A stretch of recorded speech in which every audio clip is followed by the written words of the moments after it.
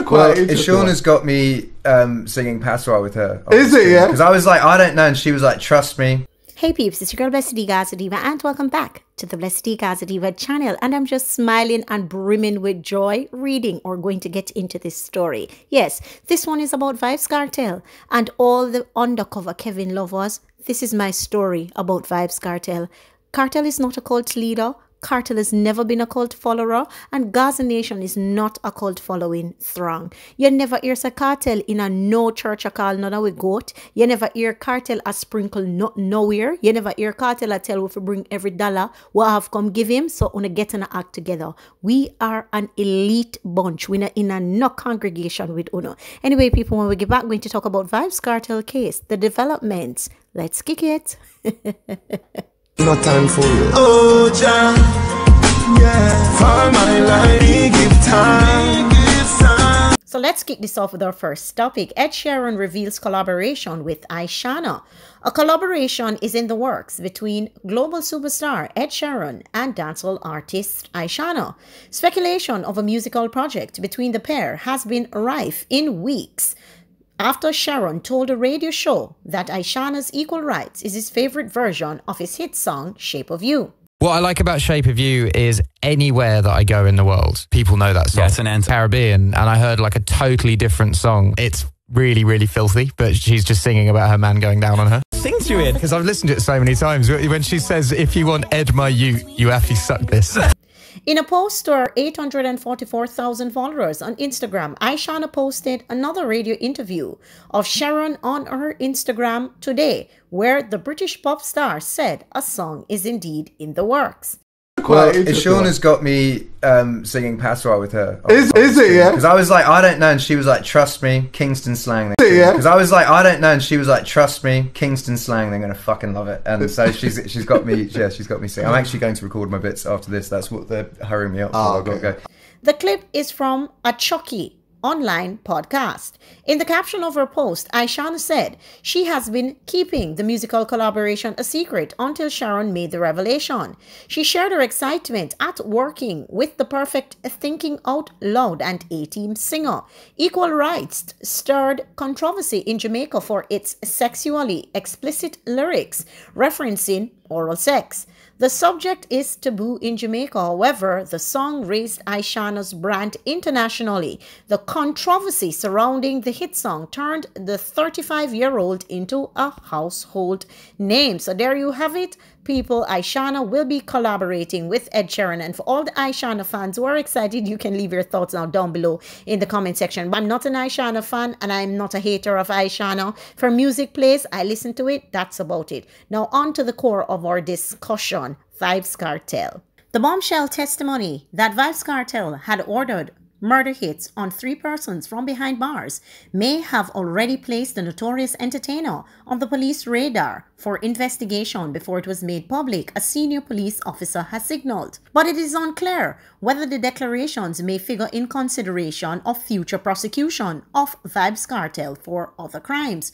Head of the Criminal Investigations CIB branch, Assistant Commissioner of Police ACP Clinton Lang said that the police would naturally have been following up on any such statement that a witness makes in court. The prosecution's second witness in the Klansman One Don Gang trial made the revelation in Home Circuit Court last week. In a Gleaner interview with Lang, said that if a witness gave such a testimony, it was likely that he or she would have given that in a statement before an investigation was being carried out. What is reported is that no names were called. That is what was reported. That is why I'm saying it is likely that investigators are already aware, he added. Director of Public Prosecutions, Paula Llewellyn, declined to comment on the matter. However, attorney at law Isaac Buchanan, who is seeking to have Kartel's murder conviction overturned at the United Kingdom Privy Council, said his client had not given him any instruction in relation to claims made by the prosecution's second witness in the Klansman One Don gang trial. Kartel, whose real name is Adidja Palmer, was convicted along with fellow entertainer Sean Storm Campbell, Kahira Jones, and Andre St. John in 2011, August 16, for the disappearance of Clive Lizard Williams in Havendale St. Andrew. However, Buchanan is of the view that the witness testimony in the Klansman One Don gang trial was not likely to have any bearing on Kartel. Nothing thorns on that. We have what is known as snitch culture. People have right to say anything that will get them the least amount of time. Buchanan said a concern that has been pressed home by the defendant's lawyer at the Home Circuit Court. Buchanan said that under the plea agreement law, witnesses will do whatever they need to as a means to get their sentences reduced. Minister without portfolio in the Ministry of National Security, Senator Matthew Samuda, said that he would not comment on the specific claims made against Kartel during the gang trial. However, Samuda said he was standing by earlier pronouncements he and Portfolio Minister Dr. Horace Chang had made that incarcerated gangsters had been calling murder hits on persons from behind bars. We don't need any vindication of validation of what we have said. We are sure that this is indeed the case, that there are persons behind bars who would do everything in their power to continue running their criminal enterprises, which includes maiming, and murdering of Jamaicans, Samuda said in a Gleaner interview late last week. Asked whether the police had been able to press charges against incarcerated persons who gave instructions to their cronies outside to commit crimes. Samuda said, I can't say historically, and we haven't, but I can say investigations are ongoing for persons we know would have triggered criminal acts externally from inside prison. I don't know historically how many would have been charged in the facilities, but I know of ongoing investigations, he maintained. Kartel has apparently beaten correctional oversight to produce dozens of dancehall recordings during his decade in prison. In the most high profile breach, United States television station Fox 5 aired a two part interview with the incarcerated artist Vybz Kartel. Samuda revealed last Thursday that a multi agency probe was unable to ascertain when the interview was done. We can't say on which device. We continue to monitor the space and those who would have had interaction with him, he said. But in a Gleaner interview in August, Kartel's attorney Buchanan said that the entertainer did the jailhouse interview while he was at St. Catherine based correctional facility. Those are my instructions. His phone was confiscated and he was moved to one of those nice 55 million state of the art facility at Horizon where they are monitored by the military, Buchanan told the newspaper in August. Samuda said that steps were now being made to tackle the issue and to mitigate the impacts that phones and other devices were having in correctional facilities.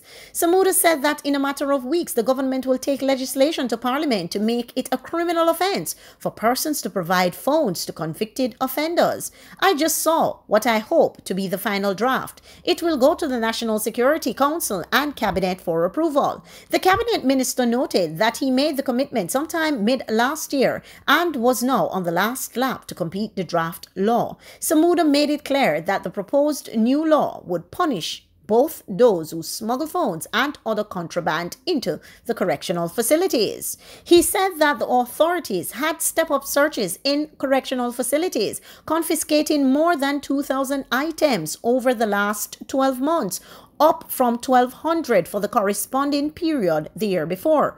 We are going to throw the bodies at the problem until we have technology, Samuda said. He also said that appropriate scanners, phone jammers, and cameras would be installed across the correctional facilities. There you have it, people. So you got a bit of everything. They touched on the case. Um, Vybz Kartel lawyer has clearly spoken and corroborated what I said before that these cases or these claims don't really have any bearing on Vybz Kartel's Privy Council case. So I'm going to say this much to you again, Gaza Nation. Anybody who is out there telling you this and telling you that, the Privy Council case is separate and different from what the one other gang informant has thrown out there. Now, whether they want to call him an informant or not, it is the reality. Now, back to what Isaac has said. Any person on trial will do anything to reduce their sentence. And that is a fact. Anyway, people, tell me your thoughts down below in the comment section as per usual. We'll have a discussion. If you've not yet subscribed to my channel, please hit notification bell. If you've not yet smashed the like button on this video, smash the like button and send this out. I'm out.